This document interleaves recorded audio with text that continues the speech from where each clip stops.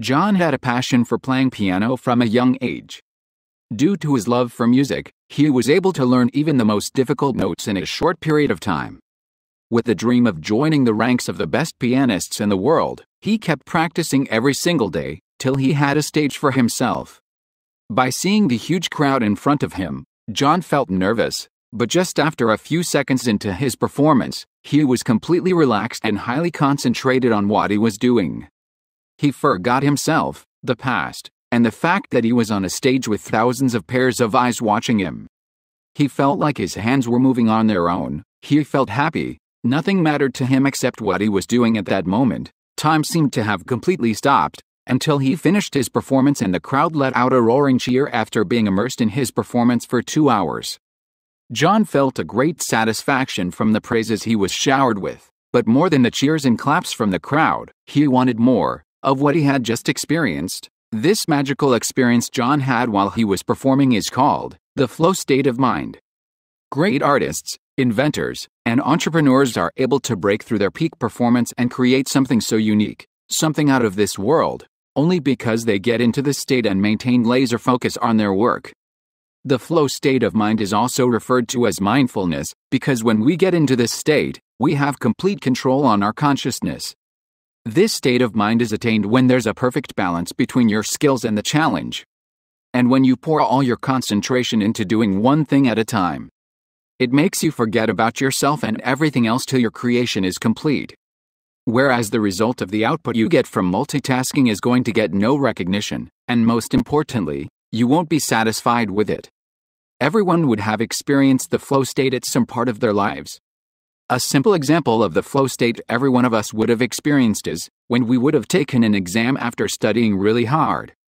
During situations like these, when we know what we're doing, we automatically get into the flow. And of course, this state is achieved most of the times when playing video games as well. And we do something we love, and when our skills match the challenge, the flow state of mind is naturally achieved without our knowledge, or without us trying to achieve it.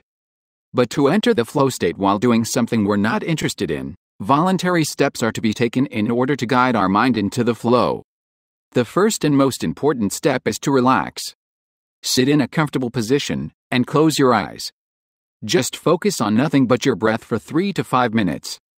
Clear your mind from all the thoughts and distractions. Keep your mind empty for a few minutes.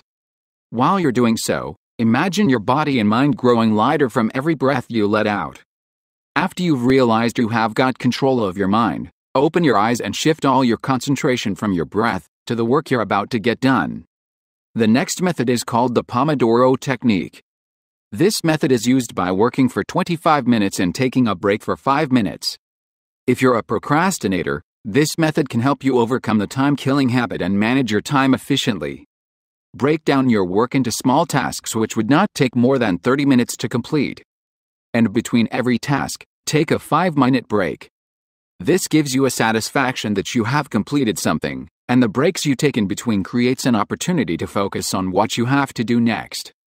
Normally, it takes 15 to 30 minutes to get into the flow state. If you feel interested in the work or you feel hyped up to get it completed, you can increase the work time. But remember that the amount of time you spend on work has to be five times more than the break you take. For example, if you spend 50 minutes working, you can take a 10 minute break. The next method is to challenge yourself. The reason why it's easy to get into the flow state while playing games is because games are challenging and they give us clear objectives to complete. This is probably the most fun technique to use when you don't feel motivated enough to work. After you've set a timer for 25 minutes or more, challenge yourself on how fast you can get the work done before the timer runs out. The sooner you complete it, the more time you can add to your break. By doing this, you get a focus and control on what you are doing, and your mind would not wander around for instant gratification through social media. When we are in the flow, we won't notice it until we finish the work, so it's important to maintain 100% concentration on the work and not try to check if we've reached the flow state or not. The final method is to pick a time of the day and stick to it. Meditation, exercise, reading a book, and other simple yet life changing tasks are the most ignored tasks by people. To overcome the habit of procrastination in these situations, imagine how it would shape you in your future. What positive changes would the work bring in you and your life? Visualize the future each time before you begin the work.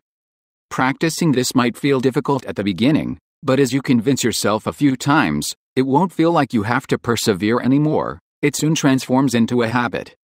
So that's it, guys. These are the techniques to be productive when you don't feel like it. Relax your mind. Use the Pomodoro technique. Challenge yourself and treat work like a game. Pick a time and stick to it. Thanks for watching. Hope these steps help you to put an end to your procrastination. Leave a like if you learned something new. Subscribe for more useful videos. Stay positive and have a great day.